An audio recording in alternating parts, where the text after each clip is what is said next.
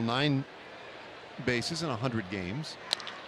Bouncer, shortstop. Andrus waited on it to second one. The relay in time, double play. Once again, the double play helping Hamels through the sixth.